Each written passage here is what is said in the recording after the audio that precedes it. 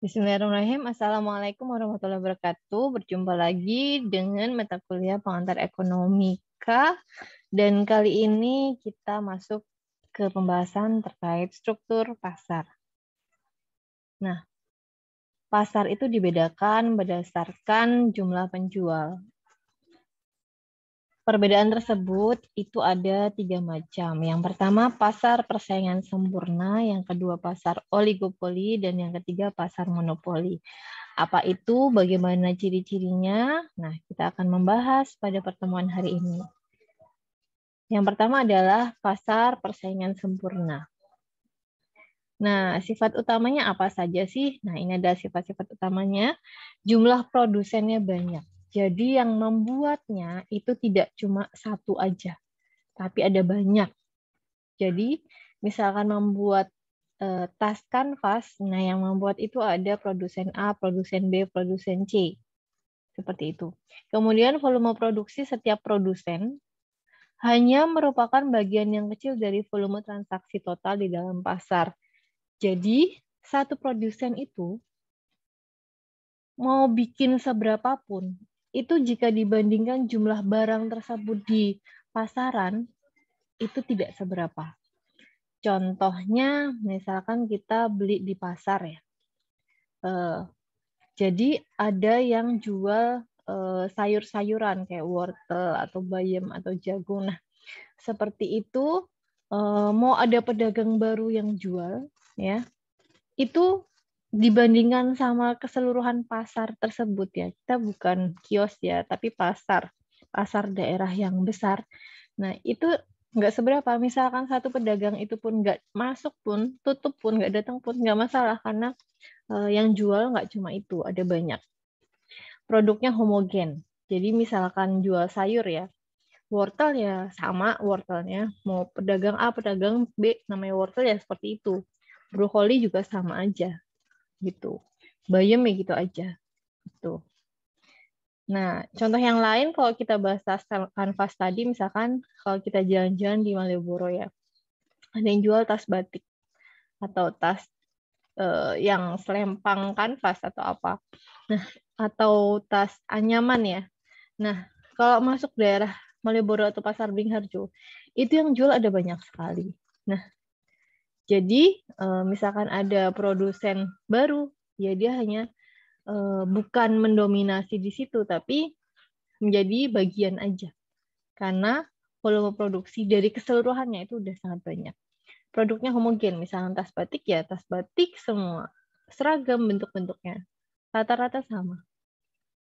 Kemudian informasi pasar dapat diperoleh dengan cepat dan tepat. Contohnya, misalkan lagi booming tas rajut tapi bukan yang dua atau gendis ya. Tas rajut merek uh, tanpa merek ya. Nah langsung tuh pada bikin tas rajut tas rajut tas rajut tas rajut. Cepet banget. Terus uh, contoh yang lain membuat tas dari enceng gondok. Modelnya seperti uh, apa namanya? Uh, ini jinjingan ayam. Nah akhirnya semuanya pada ikut-ikut gitu Terus kalau dulu nih zaman saya uh, masih sekolah ya, masih remaja mungkin uh, teman-teman di sini saya kurang tahu sudah lahir atau belum ya. Mungkin udah lahir tapi masih bayi atau apa sekitar tahun 2004. Nah, itu uh, posisinya sepatu balet itu dijual di mana-mana, di mana-mana dengan berwarna-warni gitu. Dan uh, ketika lagi booming sepatu balet, akhirnya semuanya banyak yang jual sepatu balet dan warna-warni seperti itu. Dan mau ada tambahan pedagang pun itu bukan mendominasi, tapi hanya menjadi uh, bagian aja. Karena yang menjadi produsen itu banyak. Produknya rata-rata sama. Dan sesuai tren pasar atau apa yang ada, jadi uh, sesuatu misalkan nih apa itu uh cepet banget itu jalannya. Itu nah akhirnya apa? Karena ada produsen nambah satu atau enggak itu enggak ada masalah. Jadi produsen tidak bisa mempengaruhi harga pasar. Jadi eh, mau produsen itu tuh mematok harga yang tinggi nggak bisa. Karena rata-rata kita melihatnya harga pasarannya berapa sih? Misalkan uh, bayam ya, misalkan bayam harga pasarnya 4.000. Kalau misalkan ada produsen baru jual 7.000 jelas nggak laku, nggak bisa. Dia yang mengikuti gitu. Kurva permintaan yang dihadapi oleh seorang produsen adalah garis lurus horizontal. Ya, karena nggak sensitif. Kemudian produsen memutuskan beberapa volume produksi yang harus diproduksi atau jual. Nah, itu implikasinya. Sementara efek persaingan semangat terhadap kesejahteraan masyarakat, kepuasan konsumen yang maksimum ya karena eh, dari segi harga produsen tidak bisa bermain-main kan. Kemudian konsumen bisa memilih mana kira-kira yang paling bagus. Misalkan sama-sama brokoli nih, sayur brokoli. Cari yang paling hijau, paling seger, paling baru dan harganya yang masuk akal. Gitu. Keuntungan produsen yang maksimum ya karena uh, dia bisa nggak nggak ada tawar-tawaran yang menjatuhkan banget ya. Karena harganya udah jelas segitu gitu. Diproduksinya barang-barang diperlukan konsumen dengan ongkos produksi yang minimum. Karena massal uh, karena jumlah volume produksinya banyak gitu. Ya, ketika banyak produksi ongkos produksinya pun akan turun. Nah, kemudian berikutnya adalah monopoli. Monopoli murni adalah suatu keadaan di mana di dalam pasar hanya ada satu penjual, sehingga tidak ada pihak lain yang menyainginya. Jadi monopoli, di monopoli itu hanya diambil alih sama satu penjual aja. Nah, tapi monopoli sempurna itu tidak ada karena satu, adanya produk substitusi.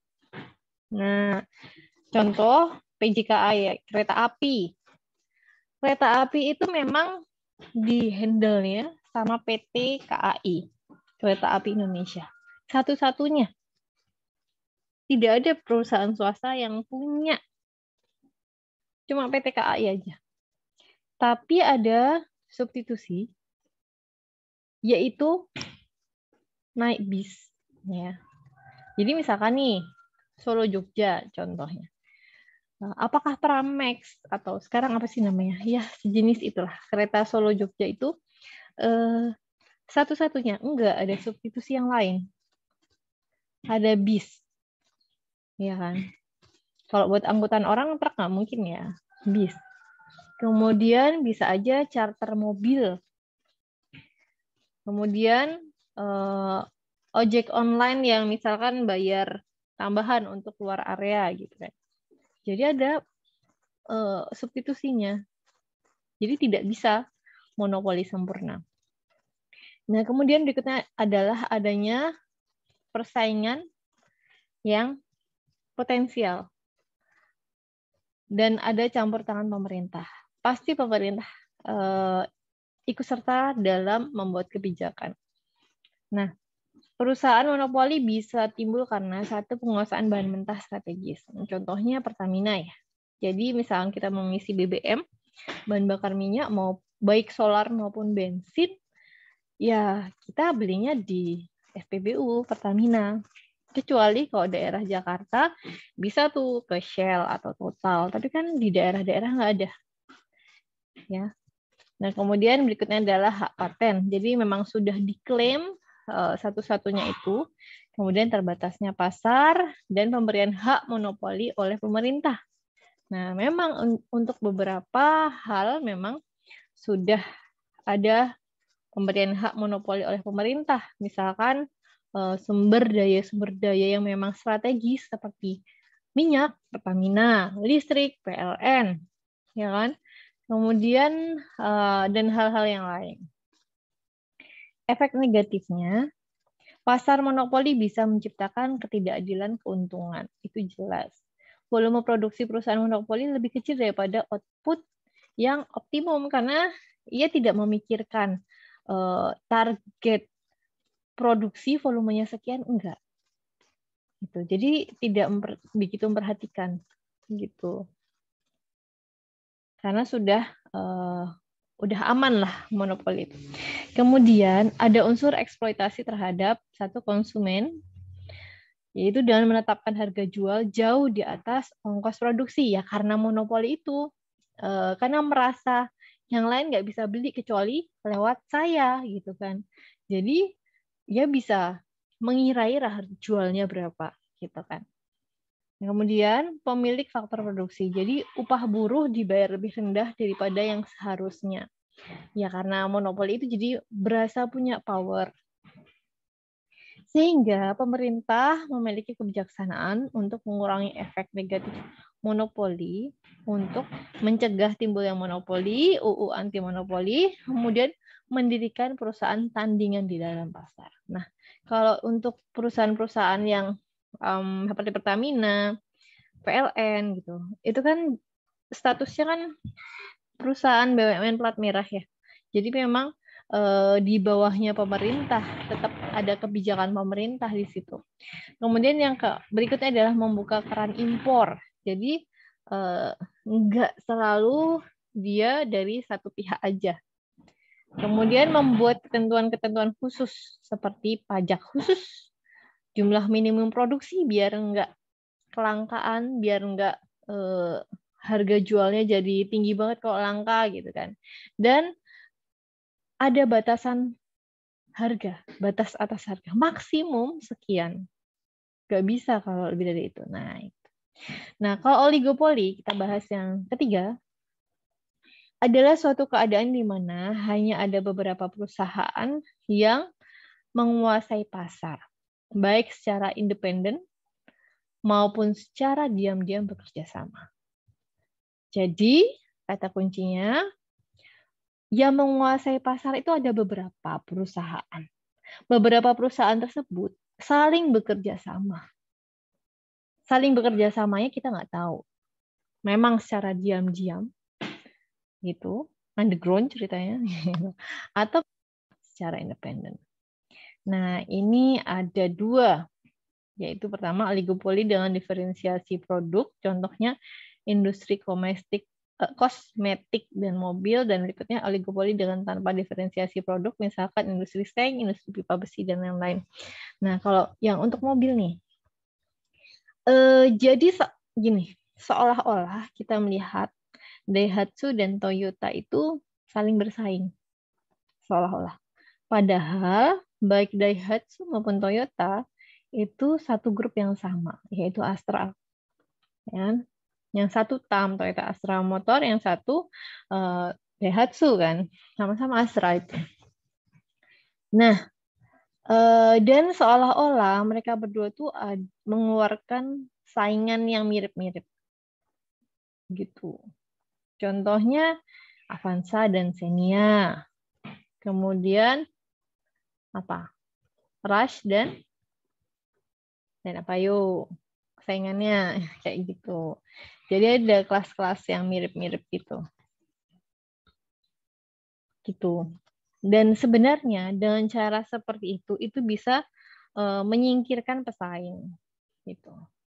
Nah, kemudian kira-kira kalau untuk kosmetik apa ya? Kalau untuk yang kosmetik besar. Ada yang perhatikan? Kira-kira apa ya?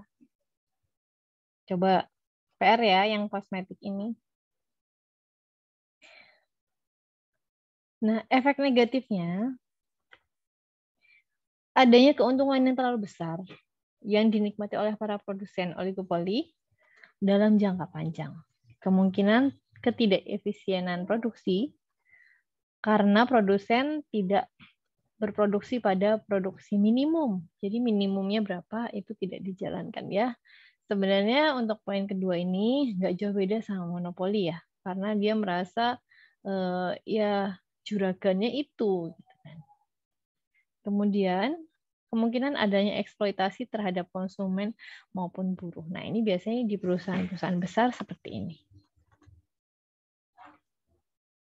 Tapi ada efek positifnya, yaitu inovasi dan penerapan teknologi baru yang pesat hasilnya. Contohnya, penemuan proses produksi baru, kemudian produk baru dan penurunan ongkos produksi. Itu.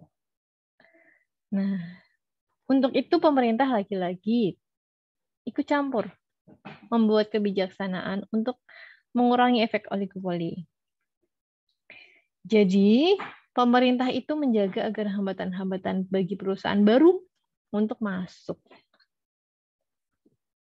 Dan pasar tersebut, adanya pasar oligopoli tersebut itu ditekan sampai sekecil-kecilnya. Kayak misalkan nih, kita bahas yang mobil tadi. Daihatsu sama Toyota itu sudah kuat ya. Orang-orang mikirnya ah, kalau nggak Daihatsu ya Toyota gitu kan. Contohnya seperti itu. Nah, ketika ada mau merek masuk gitu kan, merek lokal ya, bukan impor, mau masuk, dia agak susah karena sudah kuat kan. Nah, gimana caranya ya? Ada kebijakan dari pemerintah. Gitu. Kayak misalkan nih, hmm, kita bahas, uh, misalkan saya mau bikin minimarket saya, saya pribadi misalkan mau bikin minimarket uh, waralaba baru.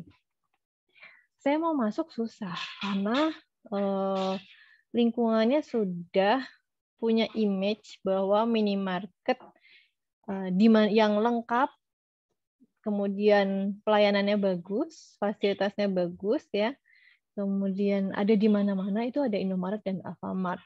Nah, saya mau bikin brand baru, merek uh, minimarket itu baru, agak susah. Buat masuk tuh susah. Uh, dan 7-Eleven yang dulu itu booming ya di luar negeri jalan ya, kemudian di Indonesia tuh masuk ya, itu juga sudah stop ya, several udah nggak ada lagi. Gitu. Dulu karena itu buat nongkrong-nongkrong dan lain sebagainya. Nah, Indomaret, Alfamart sudah punya tempat nongkrong juga gitu kan. Gitu. Kalau terakhir saya di Jakarta masih ada apa ya? Ya udah nggak ada deh Sevel. Maksudnya ada penggantinya Sevel tapi sekarang udah benar-benar nggak ada.